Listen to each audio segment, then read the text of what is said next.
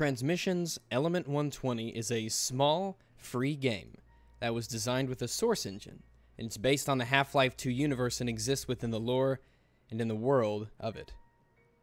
Yes, yes, the game is free. However, it does possess a certain level of quality to it. It seems to have been made by a single person.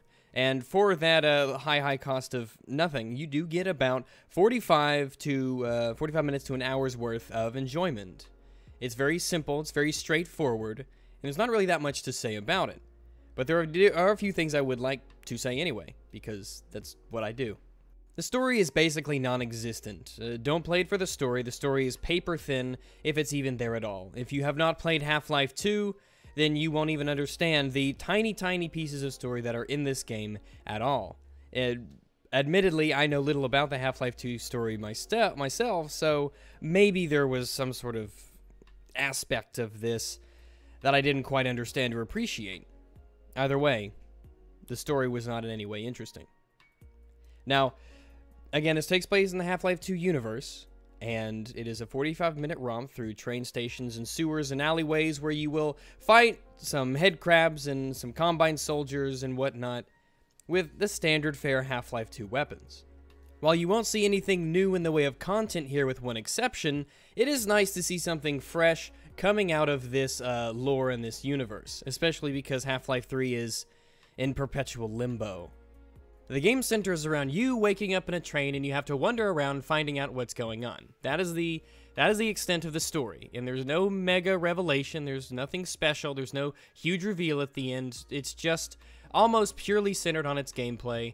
And it is meant in a way to give a player who is waiting for a new Half-Life content, should it ever actually be released, to at least have something fresh in their gaming library. And since it is free, and it only takes about 45 or so minutes to complete, if you are a fan of Half-Life, or if you like Source games in general, then there's really no reason for you to not try this game.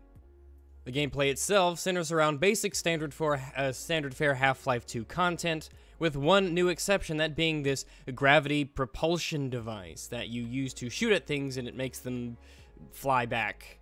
You can also use this to jump and aim at the ground to boost yourself high into the air, the mechanics of which are used extensively after you acquire this tool and that is the gimmick, I suppose, of Elements, Element 120. It is not particularly challenging, there are no incredible puzzles to solve apart from move this box to jump up to a higher spot or use the gravity gun thingy to boost yourself up onto a high platform. There's no real necess necessity here for strategy.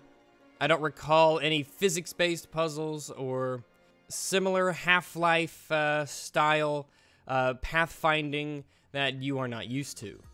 The way I see this game is that it's just there for Half-Life fans to go through for about an hour's worth of time, uh, play a Half-Life looking game with Half-Life weapons, fighting Half-Life enemies for a bit, and then putting it all to a close. So you're into Half-Life, if you're into short little spats of uh, delving back into that universe, then by all means, maybe you've played Half-Life 2 way too much, over and over, and you can't help but cry yourself to sleep every night, asking, where, oh, where is Half-Life 3? Well, it's probably not coming out, let's face the facts. And this is at least something that we can enjoy in the meantime. It is atmospheric.